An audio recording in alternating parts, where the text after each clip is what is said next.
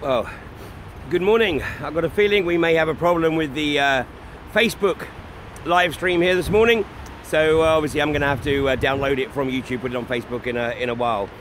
Meanwhile, I am here at one of my favourite um, historical engineering features in the northwest of England. This is the embankment that runs across the Brun-Lee Valley on the uh, Liverpool Leeds Canal. And of course, the Brun-Lee Valley uh, over time got changed to Burnley, or of course, if you're uh, local, then it's a Burnley. So here I am in Burnley, um, in the middle of this uh, one mile long, absolutely dead straight embankment that runs across this valley. And either side of uh, this embankment are the two tunnels on this canal. Each of these tunnels uh, one mile long as it brings the Liverpool Leeds Canal uh, over the, uh, the Pennines. And of course, this is from an era when the country was powered by its natural elements, i.e., wind and uh, water. And uh, then, subsequently, of course, the Industrial Revolution kicked in, and uh, we saw the start of the hydrocarbon driven economy. And of course, that's what we've been locked into very much for about 120 years now, and certainly since the advent of the uh, Federal Reserve in 1913, and uh, then a uh, hydrocarbon driven economy uh, forced through by the international banking community. And if you ever wondered why you're uh, paying such a high price for hydrocarbons, then look no further than the fact that your governments consider it the easiest way to fleece people of their income uh, through high taxation. Well, nonetheless, uh, obviously I'm here for the fracking update or anti-fracking update. And this weekend has absolutely been one of celebration. After last uh, Thursday, a most memorable day, where unanimous victories for the anti-fracking community, where uh, literally unanimous vote by both uh, Cheshire County Council uh, against the application by iGas to uh, drill uh, to um, test their exploratory well at uh, Ellesmere Port, and then uh, Rotherham Metropolitan Borough Council voting again unanimously to resist INEOS's application to um, frack within their boundaries. And then, of course, in the evening, Greg Clark announces that he has instructed the Oil and Gas Authority, which of course uh, is Greg Clark because he's the sole shareholder of this private limited company, but he's instructed the Oil and Gas Authority to do a full analysis of uh, Third Energy's uh, financial accounts and uh, their financial health. And uh, you know he's calling on other departments within the government to analyse this. And my sense is that Greg, you slept very, very well over the weekend, knowing that at long last you had done the right thing you know, it was staring you in the face, and of course it still is.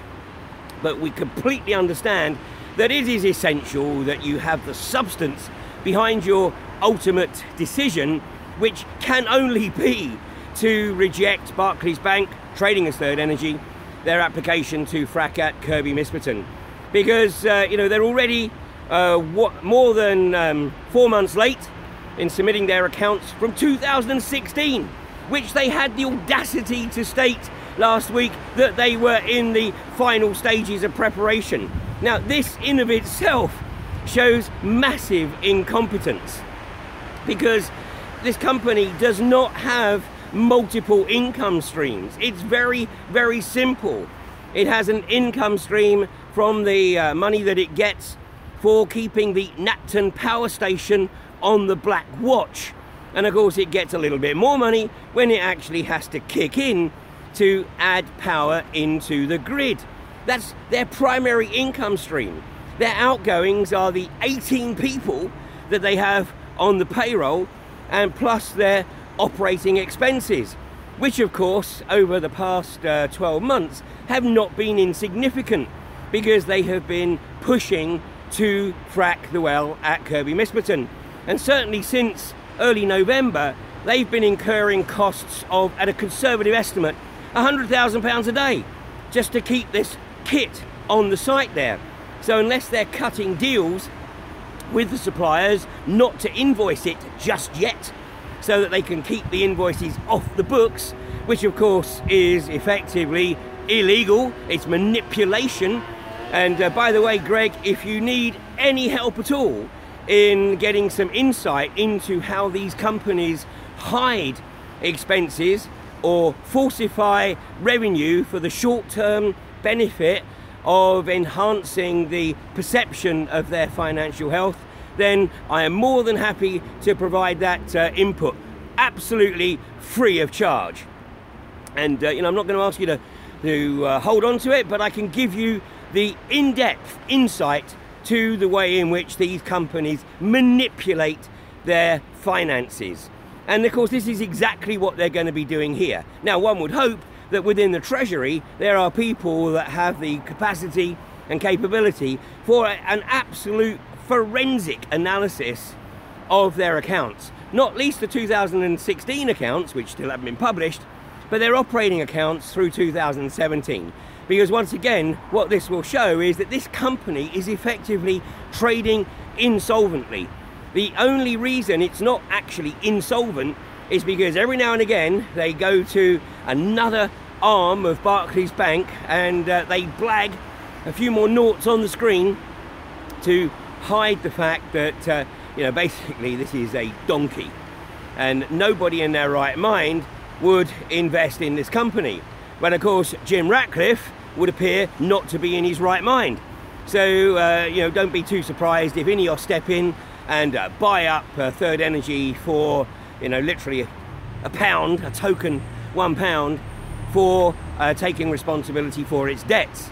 And of course, as Ineos already are sitting on a massive debt pile, uh, which is backed up by, of course, the uh, assets that they have around the globe, then, of course, for Ineos, this is mere chump change out of their debt. So, Greg, we really appreciate you kicking the can down the road here and looking for the substance to be able to substantiate your ultimate decision, which can only be to pull the plug on uh, Third Energy here. And uh, of course, if Ineos do pick up uh, Third Energy, then you know we're going to challenge whether or not they can literally just pick it up and run with it where it's at, or whether they have to go through the whole process again.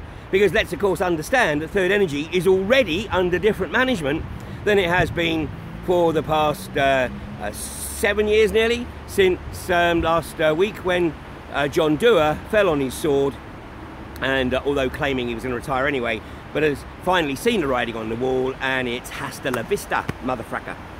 Well, let's uh, see what transpires. But today, meanwhile, down in Derbyshire, Derbyshire County Council are going to be considering Ineos's mirror or twin, however you want to look at, application to drill and frack at uh, Marsh Lane. Now, last year, uh, Ineos had submitted an application to Derbyshire County Council, but then they decided that Derbyshire County Council was being somewhat tardy in dealing with the application, so they said, you know what, we're done with you. We're going to go uh, straight to central government and we're going to appeal to the planning inspector to uh, make the decision for you, basically. But meanwhile, not satisfied with that, they decided to submit a twin, pretty much identical, bar a few words, application to Derbyshire County Council. And of course, this is um, this is something that uh, you know is legitimate.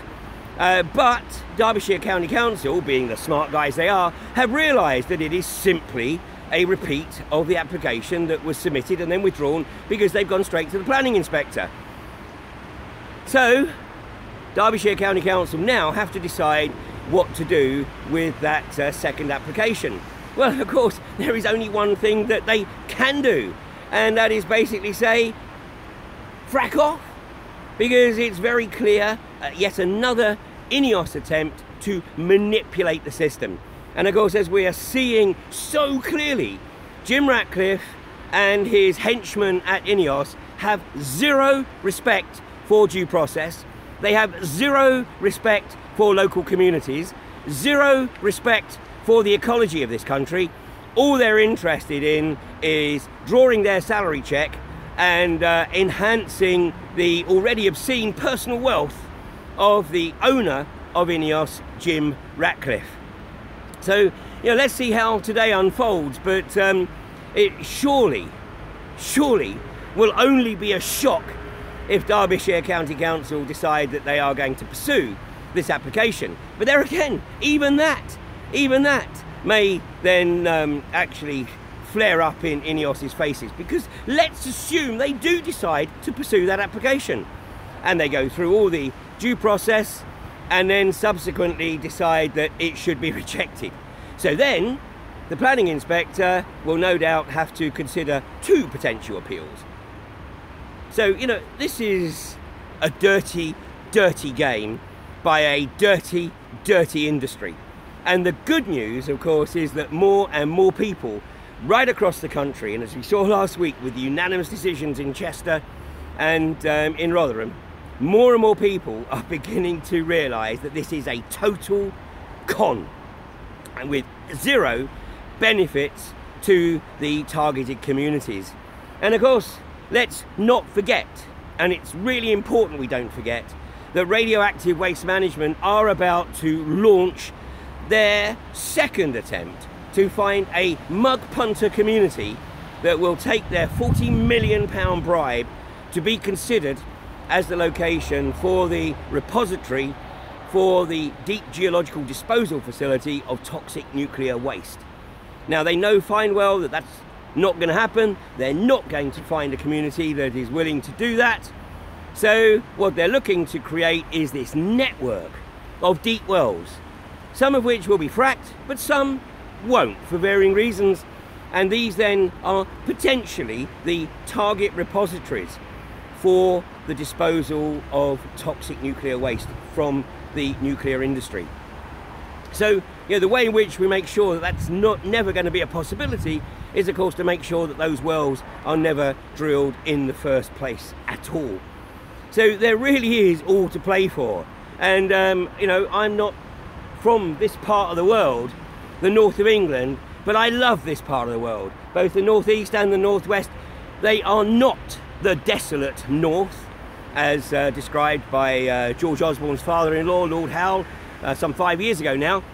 These are beautiful, beautiful parts of the country. The Bowland Shale takes its name from the uh, uh, forest of Bowland, just a few miles to the northwest of here. A stunning area of truly outstanding natural beauty, just like the Yorkshire Dales, the Yorkshire, the North Yorkshire Moors, and the Wolds. And yet the government says, no, we're going to turn it into a forest. Yeah, they're going to turn it into a forest to hide the wells and to potentially hide the uh, deep geological waste disposal wells that uh, manifest in amongst this nightmare. So anyone who still believes that their government has their best interests at heart, well right now the jury's out on Greg Clark because he does actually seem to be doing the right thing. But uh, you know, let's um, let's bide our time. Let's keep the pressure on from as many angles as we possibly can, and uh, not least, Greg. You know, your future political career, as you well know, rests on this, this decision. And it's no good you saying, well, I'm simply going to advise the Oil and Gas Authority, because we know the Oil and Gas Authority is you. That's like me saying, well, I'm going to have uh, private words with Ian R. Crane. You know, what do you got, Greg? Voices in your head? I'm sure you've got a lot of them right now because you know precisely what it is that you need to be doing. And you have enormous support, regardless of what your party whip tells you, regardless of what the industry lobby tells you, regardless of what Lord John Browne quietly submits to you, you know, to try and uh, influence your decision, you have enormous support across the north of England. Just take a look at the Yorkshire Post. They ran a six-page feature on fracking in Yorkshire last week, and I gather that's going to continue through this week. So, Greg, you're from this part of the world. Your origins are Teesside you know what needs to be done. So have the cojones. Show yourself to have true political leadership and not succumb to the pressures from the corporate paymasters of the Tory party. So there we go, all to play for. Now um, tomorrow uh, there's a very good possibility that uh, Lou Hammond is going to be taking care of uh, tomorrow morning's 8.30 live stream and uh, hopefully she'll be uh, interviewing uh, at least one of the local community who have been tr tremendous in their support since the establishment of the Misson Springs Protection Camp just three weeks ago. So meanwhile, do follow Drill or Drop, outstanding news updates online from Ruth Hayhurst. And uh, of course please help by sharing these videos. And uh, you know let's get them outside of the anti-fracking community because ultimately this is going to be defeated not by any NGO not by any individual not by any individual group but by multiple community groups all challenging this abomination in their own unique way so thanks for joining me and uh, if I don't catch you tomorrow, you'll be with Lou Hammond, but I will catch you later in the week. So have a great day. Hopefully it's a bit uh, drier where you are, but uh, it ain't snowing and the canal's not frozen, so it's got to be good. Watch what happens in Derbyshire today. Take care.